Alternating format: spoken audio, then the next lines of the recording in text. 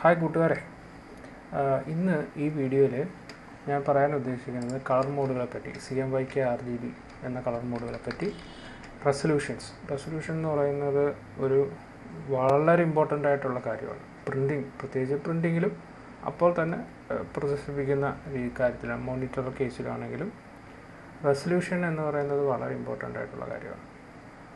അടുത്തത് ഒരു laser printing ചെയ്യുമ്പോഴത്തേക്കും നമ്മൾ എടുക്കേണ്ട റെസൊല്യൂഷൻ എന്താണ്? ലാർജ് ലെങ്ത് ആയിട്ടുള്ള ഒരു ഡോക്യുമെന്റ് പ്രിന്റ് ചെയ്യാൻ ഉദ്ദേശിക്കുമ്പോൾ എടുക്കേണ്ട റെസൊല്യൂഷൻ എന്താണ്? ഫ്ലെക്സ് പ്രിന്റ് ചെയ്യുമ്പം നമ്മൾ ശ്രദ്ധിക്കേണ്ട കാര്യം എന്താണ്? അപ്പോൾ ഞാൻ ഫോട്ടോഷോപ്പിനെ ബേസ് ചെയ്തിട്ടും ഇൻഡിസൈനെ ബേസ് ചെയ്തിട്ടൊക്കെയാണ് ഞാൻ പറയുന്നത്. പിക്ചർ ക്ലാരിറ്റി ഗൂഗിളിൽ നിന്നൊക്കെ എടുക്കുന്ന പിക്ചറിന്റെ ക്ലാരിറ്റിയെ പറ്റിയാണ് നമ്മൾ എന്തൊക്കെ കാര്യങ്ങൾ ശ്രദ്ധിക്കണം. നമ്മളൊരു ഗൂഗിളിൽ നിന്നൊരു പിക്ചർ എടുത്തു അത് ഇൻഡിസൈനിൽ പ്ലേസ് ചെയ്യുമ്പോൾ എന്തൊക്കെ കാര്യം ശ്രദ്ധിക്കണം. പിന്നെ ഡിസ്പ്ലേ സെറ്റിങ്സ്.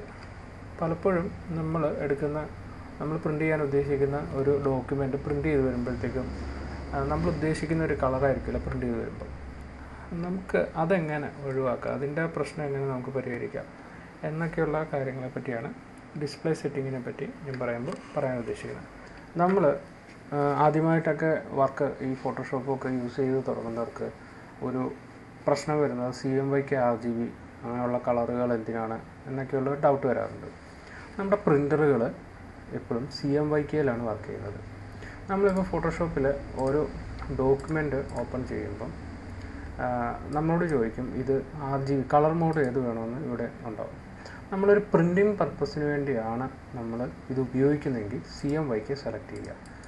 റെസൊല്യൂഷൻ ഒരു പ്രിന്റിങ് പർപ്പസിന് വേണ്ടിയുള്ള റെസൊല്യൂഷൻ മുന്നൂറാണ്. നോർമൽ. അതായത് ഒരു ബുക്ക്ലെറ്റ് പ്രിന്റ് ചെയ്യുക ഒരു ബുക്കിന്റെ കവർ പേജ് പ്രിന്റ് ചെയ്യുക ഡിസൈൻസ് നിങ്ങളുടെ ഗ്രാഫിക്സ് ഒക്കെ ചെയ്തിട്ട് ഒരു ഒരു എ ഫോറിലോ ഒരു ലേസർ പ്രിന്റിലോ ഒരു കളർ പ്രിന്റ് എടുക്കുമ്പോൾ റെസൊല്യൂഷൻ മിനിമം മുന്നൂറ് വേണം. ചില കേസിൽ നമ്മൾ വലിയൊരു ബാനർ ബാനർ എന്ന് പറയുമ്പോൾ ഒരു പതിമൂന്ന് ഇഞ്ച് വിട്ത്ത് ഒരു മുപ്പത് ഇഞ്ച് ഹൈറ്റുള്ള ഒരു ബാനർ പ്രിന്റ് ചെയ്യുമ്പോഴത്തേക്കും. അങ്ങനെ വരുമ്പോഴത്തേക്ക് ഇത്രയും ഒരു ലെങ്ത് ഈ മുന്നൂറ് റെസൊല്യൂഷനിലിട്ട് ചെയ്യുമ്പോഴത്തേക്കും ഇത്തിരി സൈസ് കൂടും നമ്മുടെ സിസ്റ്റം ഇപ്പം ചില സിസ്റ്റത്തിൽ ടു ജി ബി റാമൊക്കെയുള്ള സിസ്റ്റം ഒക്കെ ആണെങ്കിൽ കുറച്ച് ബുദ്ധിമുട്ട് വരും അത് വർക്കാവാൻ അപ്പം നമ്മൾ ഈ ത്രീ ഹൺഡ്രഡ് എന്നുള്ളത് ടു ഹൺഡ്രഡിലാക്കും ഇതുപോലുള്ള ബാനർ സൈസ് സാധാരണ പ്രിന്റ് ചെയ്യുന്ന ഇങ്ക്ജെറ്റ് പ്രിന്ററിലായിരിക്കും ഇതുപോലുള്ള ബാനർ സൈസ് ഈ നീളത്തിലുള്ള എന്തെങ്കിലുമൊക്കെ ചെയ്യുന്ന ഇങ്ക്ജെറ്റ് പ്രിന്ററിലായിരിക്കും നമുക്ക് പിക്സൽ പെർ ഇഞ്ച് മതി. ഇഞ്ചിൽ ടു ഹൺഡ്രഡ് ആണ് നമുക്ക് വേണ്ടത്. അപ്പോൾ അങ്ങനെ വരുമ്പോഴത്തേക്ക് image size fifty nine point five M B വരത്തുള്ളൂ. നമുക്ക് വർക്ക് ചെയ്യാൻ എന്താ പറയണ്ട സുഖമായിട്ട് തന്നെ വർക്ക് ചെയ്യാൻ ഒരു ക്ലാരിറ്റി ലോസ് ആകാതെ തന്നെ നമുക്ക് കാര്യങ്ങൾ ചെയ്യാൻ പറ്റും. പക്ഷേ ഈ കേസ് എന്ന് പറയുന്നത് ഇതുപോലെ ലെങ്തി ആയിട്ടുള്ള ഒരു പിക്ചർ ആണെങ്കിൽ മാത്രമേ ഈ ഒരു റെസൊല്യൂഷനിലിട്ട് ചെയ്യാൻ പാടുള്ളൂ. നിക്കോ മിനോൾട്ടയുടെ ചില പ്രിന്ററിൽ ബാനേഴ്സ് ഒക്കെ പ്രിന്റ് ചെയ്യാം.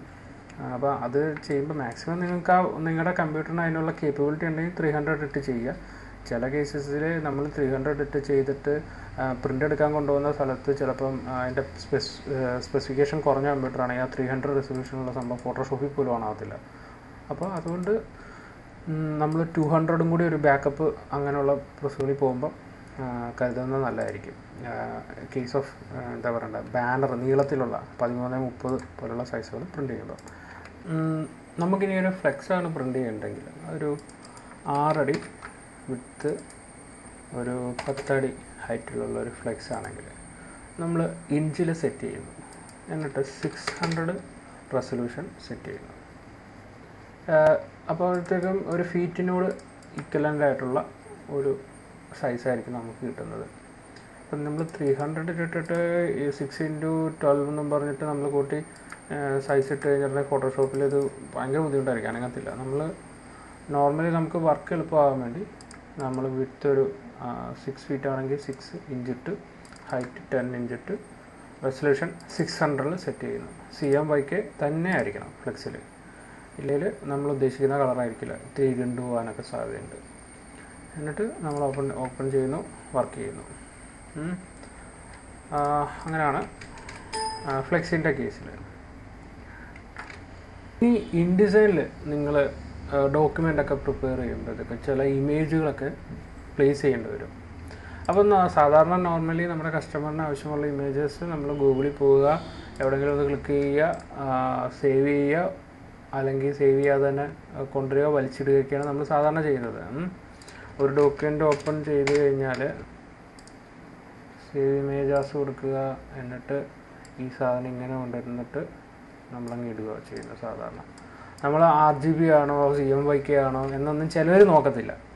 സാധാരണ യൂഷ്വലി ഇൻഡിസൈനൊക്കെ പഠിച്ചു തുടങ്ങുന്നവർ അങ്ങനെയൊക്കെ അങ്ങനെ ചെയ്യും. ചിലവർ എന്ത് ചെയ്യുന്നത് വെച്ച് കഴിഞ്ഞിട്ടുണ്ടെങ്കിൽ ഇങ്ങനെ ചെയ്യാതെ ഇത് സേവ് ചെയ്ത സംഭവം നേരെ ഫോട്ടോഷോപ്പിൽ കൊണ്ടുപോകും. ഫോട്ടോഷോപ്പിൽ കൊണ്ടുപോയതിന് ശേഷം ഇമേജ് മോഡ് മാറിയിട്ട് സി എം വൈക്ക് ആക്കും. ഇത്ര മാത്രം ചെയ്ത് സേവ് ചെയ്തിട്ട് ഇവർ ക്ലോസ് ചെയ്യുന്നു. എന്നിട്ട് ആ സാധനം തന്നെ നമ്മൾ ഇൻഡിസൈനിലോട്ട് വലിച്ചിടുന്നു ഇൻഡിസൈനിലോട്ട് വലിച്ചിടുമ്പോൾ ഇങ്ങനെയും ചെയ്താലും പ്രശ്നമൊന്നുമില്ല. കാരണം സി എം വൈക്കാവും ഗൂഗിളിൽ നമ്മളൊരു ഇമേജ് സെലക്ട് ചെയ്യുമ്പോൾ ഇമേജ് എടുക്കാൻ നോക്കുമ്പോൾ നമ്മൾ എപ്പോഴും അതിന്റെ സൈസിനെ പറ്റി നല്ല അവെയർ ആയിരിക്കണം. പ്രത്യേകിച്ച് ഒരു പ്രിന്റിങ് പർപ്പസിന് വേണ്ടിയാണെങ്കിൽ സൈസ് മസ്റ്റാണ് ചിലപ്പോൾ കസ്റ്റമറിന് ചിലപ്പോൾ ഇഷ്ടപ്പെടുന്നത് ഏറ്റവും സൈസ് പറഞ്ഞ ഏതെങ്കിലും ഒരു പിക്ചറായിരിക്കും അത് പ്രിന്റ് ചെയ്ത് വരുമ്പോഴത്തേക്ക് കസ്റ്റമേഴ്സിന്റെ എക്സ്റ്റ് എക്സ്പെക്റ്റേഷൻ ആയിരിക്കില്ല പ്രിന്റ് വരുന്നത് അപ്പോൾ അവരോട് പറയുക ഇതിന് സൈസ് ഇല്ല നമുക്ക് ഇത്തിരി കൂടി നല്ല പിക്ചർ എടുക്കാം എന്ന് പറയണം. സാധാരണ നമുക്ക് നല്ല സൈസ് കിട്ടാൻ വേണ്ടി ഈ സെർച്ച് ചെയ്തതിന് മുമ്പ് തന്നെ ഈ നിങ്ങൾക്ക് ഈ ഗൂഗിളിന്റെ സെർച്ചിന്റെ അടിയിൽ ടൂൾസ് എന്ന് പറഞ്ഞൊരു സംഭവമാണ്. ഈ ടൂൾസിൽ ക്ലിക്ക് ചെയ്ത് കഴിഞ്ഞാൽ സൈസിൽ പോയിട്ട് നമുക്ക് ലാർജ് എന്ന് പറഞ്ഞ ഓപ്ഷൻ ആക്കിയിട്ട് കഴിഞ്ഞാൽ നമുക്ക് എന്താ പറയുക അത്യാവശ്യം വലിപ്പമുള്ള ഇമേജസ് ആയിരിക്കും പിന്നെ കിട്ടുന്നത്. നിങ്ങളിപ്പോൾ ഒരു ഇമേജസ് ഇപ്പോൾ ക്ലിക്ക് ചെയ്ത് കഴിഞ്ഞിട്ടുണ്ടെങ്കിൽ അണ്ട് ആയിരത്തി അറുന്നൂറ് ഇന്റു എഴുന്നൂറ്റി തൊണ്ണൂറ്റെട്ട് പിക്സൽസിലുള്ള ഒരു ഇമേജ് ഉണ്ട്. ഈ ഇമേജൊക്കെ നിങ്ങൾക്ക് ഈസിയായിട്ട് ഉപയോഗിക്കാൻ പറ്റും. ഇപ്പോൾ നമ്മൾ ഒന്നെങ്കിൽ നമുക്ക് സേവ് കൊടുക്കാം. ഇല്ലെങ്കിൽ കോപ്പി ഇമേജ് എന്ന് പറഞ്ഞ ഓപ്ഷൻ ഉണ്ട്. അത് ആ ഒരു പിക്ചറിന്റെ സൈഡിൽ കൊണ്ട് റൈറ്റ് ബട്ടൺ നോക്കി കോപ്പി ഇമേജ് എന്നിട്ട് ഫോട്ടോഷോപ്പിൽ നേരെ വരിക.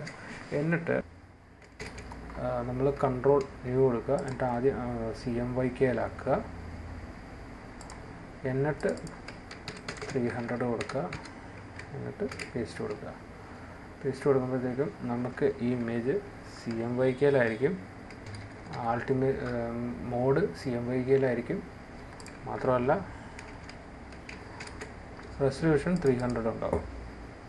ഇനി ഏതൊരു പിക്ചർ കിട്ടിയാലും നമ്മൾ ഇത്തിരി ഒന്ന് ബ്രൈറ്റ്നെസ് കർവോ എന്തെങ്കിലുമൊക്കെ കൂട്ടുന്ന നല്ലതായിരിക്കും. കാരണം നമുക്ക് പ്രിഡിക്റ്റ് ചെയ്യാൻ പറ്റത്തില്ല നമ്മുടെ മോണിറ്ററും പ്രിന്റും എങ്ങനെ ആവുന്നുള്ളത് അപ്പം നമ്മുടെ എക്സ്പീരിയൻസ് അനുസരിച്ച് ഇത്തിരി ഒന്ന് ബ്രൈറ്റ്നെസ് കൂട്ടി കൊടുക്കുന്നത് നല്ലതായിരിക്കും. കുറച്ച് എന്നിട്ട് അത് സേവ് ചെയ്യുക. ഫോട്ടോഷോപ്പായിട്ട് തന്നെ സേവ് ചെയ്യാം. ഫോട്ടോഷോപ്പായി സേവ് ചെയ്ത് കഴിഞ്ഞാലുള്ള ഗുണം. ഒരു ഇൻഡിസൈൻ എടുത്തു കഴിഞ്ഞിട്ട് ആ ഡോക്യുമെന്റിലേക്ക് നമുക്ക് നമ്മൾ നേരത്തെ വള്ളം കളി എന്നും പറഞ്ഞിട്ട് നമ്മളൊരു ഒരു ഫോട്ടോഷോപ്പ് ഫയൽ ഓണാക്കിയിട്ടുണ്ട് അത് പ്ലേസ് ചെയ്യുക. പ്ലേസ് ചെയ്യുന്ന എങ്ങനെയാണെന്ന് നിങ്ങൾക്ക് അറിയാമായിരിക്കും ഫയൽ ഫയലിൽ പോയി പ്ലേസ് പ്ലേസിൽ പോയിട്ട് ആണ് ചെയ്യുന്നത്. ഇല്ലെങ്കിൽ ആ ഫോൾഡർ ഓപ്പൺ ചെയ്തതിന് ശേഷം നിങ്ങൾക്ക് ഫോട്ടോഷോപ്പിലേക്ക് ഇങ്ങനെ ട്രാഗ് ചെയ്തിടാം. ഇനി നിങ്ങൾക്ക് ഈ ലിങ്ക്സിൽ പോയി കഴിഞ്ഞിട്ടുണ്ടെങ്കിൽ അതിന്റെ ലിസ്റ്റ് കാണാൻ പറ്റും. അപ്പോൾ സെയിം ഫയൽ തന്നെ ഞാൻ രണ്ട് പ്രാവശ്യം റിപ്പീറ്റ് ചെയ്തിട്ടുണ്ട്.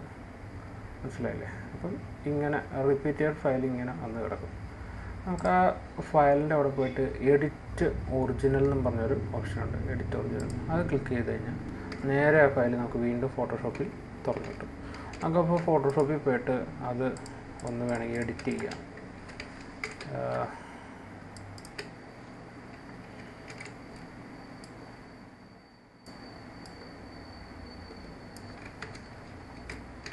Yeah. നമ്മൾ എഡിറ്റ് ചെയ്ത് സേവ് ചെയ്തു. സേവ് ചെയ്ത് വീണ്ടും ഇൻഡിസൈനിൽ വരുമ്പോഴത്തേക്കും ഈ ഫയൽ ഓട്ടോമാറ്റിക്കലി അപ്ഡേറ്റ് ആയിട്ടുണ്ട്. നമ്മൾ ക്ലോസ് ചെയ്തപ്പോൾ തന്നെ അപ്ഡേറ്റ് ആയിട്ടുണ്ട്. ഇപ്പോൾ ഫോർ എക്സാമ്പിൾ ഞാൻ ഇവിടുന്ന് എഡിറ്റ് കൊടുക്കാൻ നേരെ ആ ഫോൾഡറിൽ പോയതിന് ശേഷം ആണ് നമ്മൾ എടുക്കുന്നെങ്കിൽ എങ്ങനെ അപ്ഡേറ്റ് ചെയ്യാൻ നോക്കാം. ഞാനിപ്പോൾ ഇങ്ങനെ ഒന്ന് സെലക്ട് ചെയ്തതിന് ശേഷം ഇതിനകത്ത് ഇത്തിരി ബ്രൈറ്റ്നസ് ഇത്തിരി കുറച്ചതിന് ശേഷം സേവ് ചെയ്തു. അപ്പം നമ്മൾ ഇൻഡിഫൈൻ ഓപ്പൺ ആക്കുമ്പോൾ ഇവിടെ ദൈവ വാണിംഗ് മെസ്സേജ് വന്നിട്ടോ? അല്ലെങ്കിൽ പിക്ചറിന്റെ ഇവിടെ കണ്ടോ? ദൈവ വാണിംഗ് മെസ്സേജ് വന്നിട്ടുണ്ട്. അപ്പോൾ നമ്മൾ ലിങ്ക്സ് ഓപ്പൺ ചെയ്യുക. ലിങ്ക്സ് ഓപ്പൺ ചെയ്തതിന് ശേഷം ആ ലിങ്ക് തൊട്ടതിന് ശേഷം ഇവിടെ റീഫ്രഷ് എന്ന് പറഞ്ഞ ഓപ്ഷൻ ഉണ്ട്. അത് ക്ലിക്ക് ചെയ്യുമ്പോഴത്തേക്കും നമ്മൾ ചെയ്ത എഡിറ്റ് ഇതിനകത്ത് വന്നിട്ടുണ്ടാവും. ഓക്കെ അപ്പം ഇപ്പോൾ ഫോട്ടോഷോപ്പിൽ ഒരു ഒരു സംഭവം പ്ലേസ് ചെയ്യുമ്പോഴത്തേക്കും നമ്മൾ ഈ റെസൊല്യൂഷനും അതിന്റെ ബ്രൈറ്റ്നെസ്സും അങ്ങനെയുള്ള കാര്യങ്ങളൊക്കെ നോക്കിയിട്ട് വേണം നമ്മൾ ചെയ്യാൻ. അടുത്തത് ശ്രദ്ധിക്കാൻ പോകുന്ന കാര്യം കളർ ഡിസ്പ്ലേ പറ്റി. നമ്മുടെ ഡിസ്പ്ലേ എന്ന് പറയുന്നത് ആർ ജി ബി ഡിസ്പ്ലേ ആണ്. എപ്പോഴും ഒരു സി എം ബൈക്ക് വർക്ക് ചെയ്യുമ്പോൾ നമ്മുടെ ഡിസ്പ്ലേക്ക് ആ സി എം ബൈക്ക് കളറുകളെ പ്രദർശിപ്പിക്കുന്നതിന് ഒരു പരിധിയുണ്ട്. എത്രയൊക്കെ ശ്രമിച്ചാലും അതിനൊരു ഇംപെർഫെക്ഷൻ ഉണ്ടാവും. അപ്പോൾ ആദ്യം തുടക്കക്കാർ ഡിസ്പ്ലേ സെറ്റിങ്സിനെ പറ്റി ഒന്നും വലിയ നിശ്ചയമില്ലാത്തൊരു വർക്ക് ചെയ്ത് അത് പ്രിന്റ് ചെയ്ത് വരുമ്പോഴത്തേക്ക് നമ്മൾ ഉദ്ദേശിച്ച കളറായിരിക്കില്ല ഒന്നെങ്കിൽ ഡാർക്ക്നെസ് ആയി പോകും. അല്ലെങ്കിൽ നമ്മൾ ഉദ്ദേശിച്ച കളറല്ല ഒരു മാച്ച് ഇല്ലാത്ത ഒരു അവസ്ഥയൊക്കെ വരും. ഞാനപ്പോഴത്തേക്കും ഈ എഡിറ്റിങ്ങിന് പറ്റിയ ഡിസ്പ്ലേ ഒരെണ്ണം യൂട്യൂബിലൊക്കെ അന്വേഷിച്ചു. നല്ല പിക്സൽ ഡെപ്തുള്ള ഒരു ഡിസ്പ്ലേ ഞാൻ സെലക്ട് ചെയ്തു സാംസങ്ങിന്റെയാണ് നമ്മൾ കളർ സ്വാച്ചസുകൾ കുറേ പ്രിന്റ് ചെയ്ത് വെക്കുന്നത് നല്ലതാണ്. ഫോർ എക്സാമ്പിൾ ഞാനൊരു സെലക്ഷൻ ഫോട്ടോഷോപ്പ് ഓപ്പൺ ചെയ്ത്. ഒരു ലെയർ ഓപ്പൺ ചെയ്തതിന് ശേഷം ഞാൻ ഒരു ഈ സെലക്ഷനകത്ത് ഞാൻ കളർ പ്ലേസ് ചെയ്യാൻ പോവാം. ഞാൻ ആദ്യം ജസ്റ്റ് വൈറ്റ് ഞാൻ പ്ലേസ് ചെയ്യാം. വൈറ്റ് പ്ലേസ് ചെയ്തതിന് ശേഷം എഫക്റ്റീവ് പോയിട്ട് കളർ ഓവർലയിൽ ഞാൻ സി സിയാൻ. സി എം വൈക്കാണല്ലോ നമ്മൾ യൂസ് ചെയ്യുന്നത്. നമ്മളെല്ലാം സീറോ ആക്കിയതിന് ശേഷം സി ആൻഡ് ഹൺഡ്രഡ് എടുക്കുന്നു ഓക്കെ കൊടുക്കുന്നു. ഓക്കെ കൊടുത്തതിന് ശേഷം അതിന്റെ ഒരു കോപ്പി നമ്മൾ എടുക്കുന്നു. അതിന് ശേഷം കളർ ഓവറിലേക്ക് പോവുക. വീണ്ടും എടുക്കുക. സി ആൻഡ് സീറോ ആക്കുക. മജന്ത ഹൺഡ്രഡ് ആക്കുന്നു. ഓക്കെ കൊടുക്കുക. ഇനി അടുത്തത് മജന്ത സീറോ ആക്കുക. യെല്ലോ ഹൺഡ്രഡ് ആക്കുക. വീണ്ടും ഒരു കോപ്പി എടുക്കുക. നമ്മൾ സീറോ ആക്കുക. ഹൺഡ്രഡ് കൊടുക്കുക.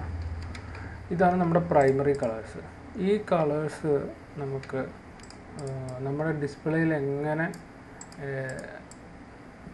റെപ്രസെന്റ് ചെയ്യുന്നു? അല്ലെങ്കിൽ ഡിസ്പ്ലേയിൽ എങ്ങനെ വരുന്നു? ഓരോ ഡിസ്പ്ലേയും ഈ കളറുകൾ റെപ്രസെന്റ് ചെയ്യുന്നതിന് ഒരുപാട് വ്യത്യാസമുണ്ട്.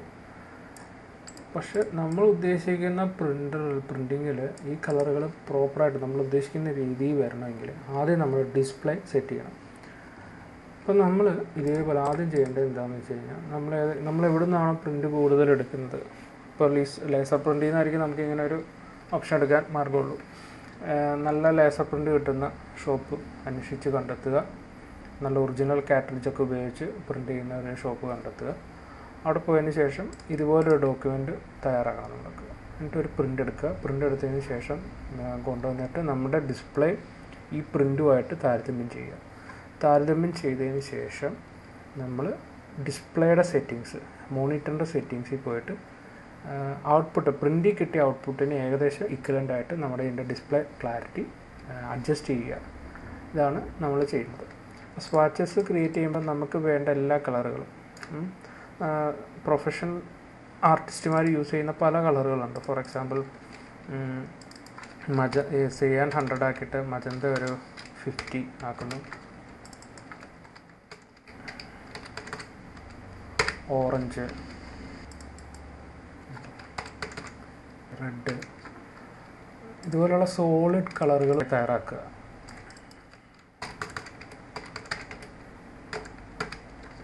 ബ്ലൂ എന്നിട്ട് ഇതൊരു റിലേഷനിലൊന്ന് അടുക്കി വെക്കുന്നത് നല്ലതായിരിക്കും. റിലേറ്റീവായിട്ട് അത് നിങ്ങളുടെ ഇഷ്ടം. ഇങ്ങനെ നിങ്ങൾക്ക് ആവശ്യമുള്ള കുറേ കളറുകളുടെ സ്വാച്ചസ് ഇതുപോലെ ക്രിയേറ്റ് ചെയ്യുക. പ്രിന്റ് എടുക്കുക പ്രിന്റ് എടുത്തതിന് ശേഷം ആ പ്രിന്റും ഈ ഡോക്യുമെന്റും ഓപ്പൺ ചെയ്യുക. ഓപ്പൺ ചെയ്തിട്ട് ഡിസ്പ്ലേ സെറ്റിങ്സ് ചെയ്യുക. ഞാൻ ഓൾറെഡി സെറ്റ് ചെയ്താണ് എന്റെ ഡിസ്പ്ലേ. നമുക്കിപ്പോൾ ഗ്രീൻ കിട്ടണം. ഒരു ഗ്രീനിന്റെ അവിടെ കൊണ്ട് വെക്കുക. അതിന് ശേഷം ഹൺഡ്രഡ് ആക്കുക സീറോ ആക്കുക ഗ്രീൻ കിട്ടി. ഗ്രീൻ തന്നെ നമുക്ക് ചെയ്യാൻ ഫിഫ്റ്റി ആക്കി കഴിഞ്ഞാൽ ഈ ഗ്രീൻ കിട്ടും. നോക്കുക നോക്കിയതിന് ശേഷം നിങ്ങൾക്ക് ഉചിതമായിട്ടുള്ള കുറേ കളേഴ്സ് ക്രിയേറ്റ് ചെയ്യുക ഈ ഒരു റൗണ്ട് ഫിഗറിൽ കളർ ക്രിയേറ്റ് ചെയ്യുമ്പോഴുള്ള ഗുണം എന്ന് വെച്ച് കഴിഞ്ഞാൽ ഇപ്പോൾ ഒരു റൗണ്ട് ഫിഗറിൽ ആയിരിക്കണം. ഫോർ എക്സാമ്പിൾ ഇപ്പം ഞാൻ ഇതിൽ എൺപത് ഇട്ടു ഇതിൽ പത്തിട്ടു ഇതിൽ അറുപത് ഇട്ടു. ഇപ്പോഴുള്ള ഒരു സ്പെസിഫിക് കളറാണ് നമുക്ക് കിട്ടുന്നത്. ബ്ലാക്ക് സീറോ ആക്കി. ഓക്കെ കൊടുത്തു. എന്നിട്ട് പറ്റുമെങ്കിൽ നമുക്ക് ഈ കളറുകളുടെ അടിയിൽ ഇതിന്റെ കോഡ് കൂടെ ടൈപ്പ് ചെയ്ത് ചേർക്കുകയാണെങ്കിൽ നമുക്ക് യൂസ്ഫുള്ളാണ് ഭയങ്കര യൂസ്ഫുള്ളാണ് എന്നിട്ട് ഈ കളറുകളുടെ ബന്ധം അനുസരിച്ച് റിലേഷൻസ് അനുസരിച്ച് നമ്മൾ നമ്മുടെ മനസ്സിൽ വരുന്ന ലോജിക്കിനനുസരിച്ച് ഈ സ്വാച്ചസ് ക്രിയേറ്റ് ചെയ്യുക. ഇപ്പം ഫോർ എക്സാമ്പിൾ നമുക്ക് ഈ വിൻഡോയിൽ പോകുമ്പോൾ തന്നെ ഒരു സ്വാച്ചസ് നമുക്ക് കിട്ടും കളർ സ്വാച്ചസ് നമുക്ക് ഇവിടുന്ന് കളർ കളറുകളൊക്കെ നമുക്ക് സ്വാച്ച് ചെയ്തെടുക്കാം. ആ, ഈ കളർ സ്വാച്ചസ് നമുക്ക് വേറെ ഉപകാരപ്പെടും. അപ്പോൾ നമ്മൾ ഇത് നമ്മൾ കളറിങ് ഒക്കെ ചെയ്യുമ്പോഴാണ് ഈ സ്വാച്ചസിൽ നിന്ന് പിക്ക് ചെയ്യുക എന്നിട്ട് കളർ ചെയ്യുക ഒക്കെ ചെയ്യുന്നത്. ഇതിന് വാണിംഗ് അലേർട്ടൊന്നും ഉണ്ടാവില്ല. അപ്പം നമ്മൾ പ്രിന്ററിന്റെ ഡിസ്പ്ലേയുടെ കളറൊക്കെ സെറ്റ് ചെയ്യുന്ന എങ്ങനെയാണെന്ന് നമ്മൾ നോക്കി. ഇനിയിപ്പം നമ്മൾ ഫോട്ടോഷോപ്പിൽ ഒരു ഡോക്യുമെന്റ് ചെയ്തു. സീം വൈക്കാരാണ് ചെയ്തത്. അപ്പോൾ യൂസറിന് നമ്മൾ ചിലപ്പം വാട്സപ്പിലൊക്കെ ഒന്ന് അയച്ചു കൊടുക്കും. നോർമൽ കേസിൽ ഞങ്ങൾക്ക് എനിക്കൊന്ന് വാട്സപ്പിൽ അയച്ചു തരാമെന്ന് പറയാം.